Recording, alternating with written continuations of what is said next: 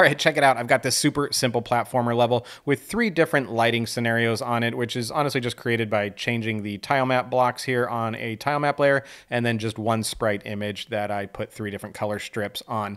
And if you look at this, when we move our player around and the player moves from zone to zone, he changes color. The player changes colors to kind of represent what zone the player is in, which can be kind of fun if the player is walking through a lighted area or a shadowed area to change the color of that player. So let's take a look at how I set that up really quickly, not before I go over here and show you that it resets to not have any color effect on it. And let's take a look at how to set that up. First thing, it's going to be really helpful for me to turn on show polygon collisions so you can see what's happening. And let's take a look at what we have really quickly here. We have just a background, which again is just a sprite that I divided into three different colored areas. We have the tile map, which is just a tile map with the solid behavior on it. And then we have the player, which has nothing fancy on it except for movement controls, and then just one other event and action on it that sets the color. Uh, we'll look at that in just a second. And then we have the triggers, which are the most exciting thing in here, and we'll talk about them in just a second. So first, let's take a look at how to change the color of any sprite during runtime or while the game is being played. So let's go over to the event sheet and I'll go ahead and just say add new event. And just for example, I'll do an start layout event just to get something in there. So when the game starts, and then we'll select the player and any sprite under the appearance section will have this set color option, or you can just type in set C to the uh, search field here and choose set color. Now when you do set color, the dialog comes up there. You'll see a function already in there for you. And this function, rgbEx, takes three parameters. The first parameter is the numeric value for red. The second one is the numeric value for green. And the third one is the numeric value for blue. Now, normally, really quickly, this is boring right here, but normally with RGB, we think of values between 0 and the number 255. 0 represents dark or black, and 255 represents white or approaching white. So if you wanted something that was all white, you would type in 255, 255, 255, and if you wanted something that was all black, you would type in 000.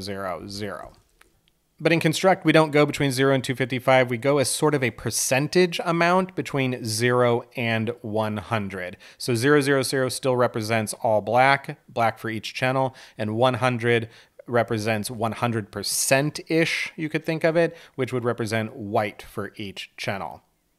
So all you'd have to do to change the color is just type in the values for red, green, and blue between 0 and 100 that you would want. And again, 0 would be a darker version, the darkest part of the, the red, and I'm not explaining this exactly accurately, but you get it. And 100 would be more towards the lighter version of that color or not a lot of influence of that color.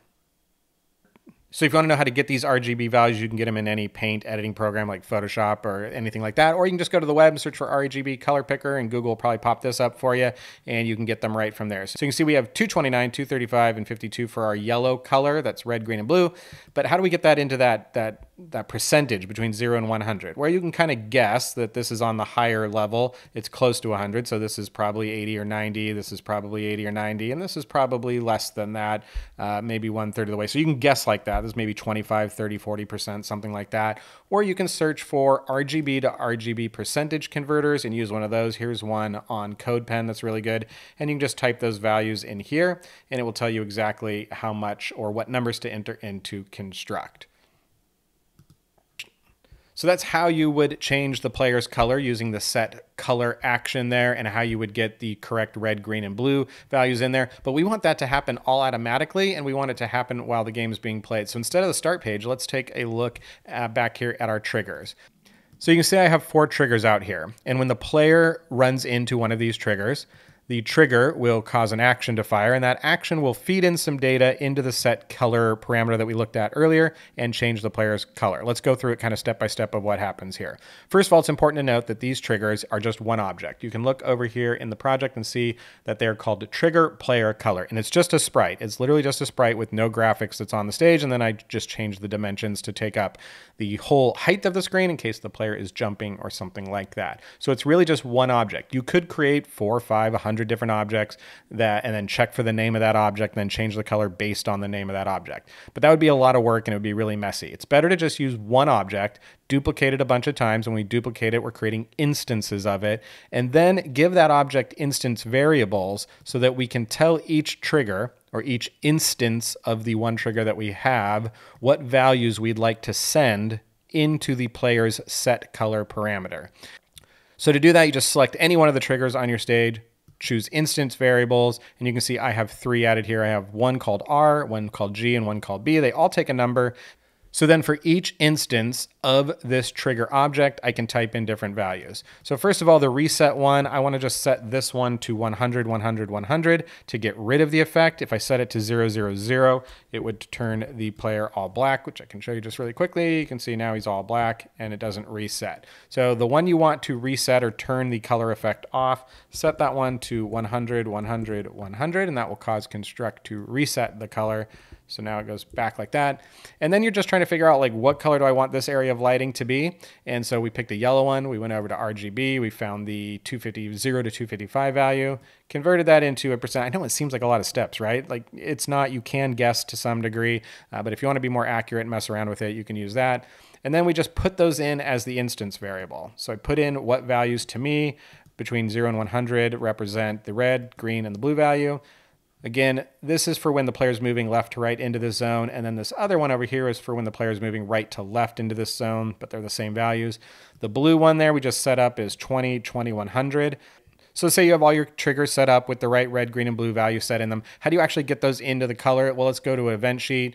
So we want to create an event, and I think of this part as like when or if. So when the trigger player color, which is that trigger object, when that's hit by the player. So we're not checking if the player hits it. You can do this in reverse. You can do when the player hits the trigger player color or vice versa. It doesn't really matter. But for me, I put when the trigger player color, that trigger object, is hit by the player, we want to do an action on the player. And the action we want to do is set color, which we looked at before. But this time, instead of us typing in the 0 to 100 value in the red, green, and blue, we want to grab the variables of the trigger object instance that the player hit. And Construct is smart enough to know that the instance variables you want to grab are for the most recent trigger player object that the player contacted with. So the one that caused this function or this event to fire is the instant value it's going to pull automatically for you. You don't need to worry about that. So when there is a collision between the trigger player color object and the player, we grab the player and we set its color and I'll just show you how one of them works and then you can just apply it to the rest. So to get your variable in there, you type the name of the object that has the instance variables. In my case, that's trigger player color, but in your, you could have named your trigger object something else. It'll probably pop up here. And then we put a period on the end to bring up the picker for its variables. I know mine is R, but if you named yours something different, type in the first letter, it'll come up, and then you choose R do the same thing. I would type it in again for G and for B. And so then I have the red, green, and blue instance variables being passed into this function for the trigger player trigger object that was most recently hit. Boy, that was a mouthful. So there you go. And if you liked this video, found anything useful in it, do me a favor and throw a thumbs up on it if you would. That means like it, like the video. That, would be helpful, I guess. And if you like this channel and you want to learn more about Construct 3 and developing games quickly for things like game jams and your own projects, do me a favor and subscribe to the channel. And I'm going to keep moving this guy back and forth until the video's over, which is right now.